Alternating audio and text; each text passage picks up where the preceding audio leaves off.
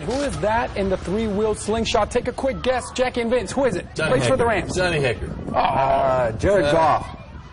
Jared Goff is a better guess, but yeah, you got it right, Jackie. Rams punter Johnny Hekker. Hekker made a surprise visit to the Marion and John E. Anderson Boys and Girls Club in Thousand Oaks this week.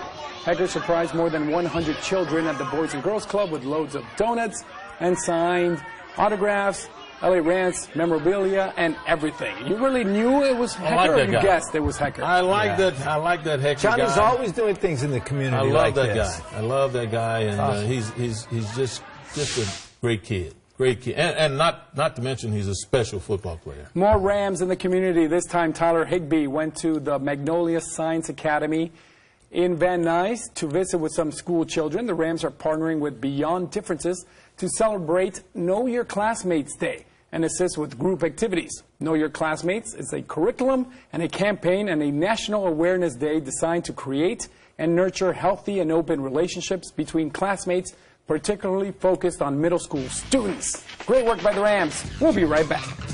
I water heat.